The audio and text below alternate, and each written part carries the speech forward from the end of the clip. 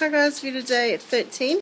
For me it was an easy choice. I'd like to see True American be made an Olympic sport.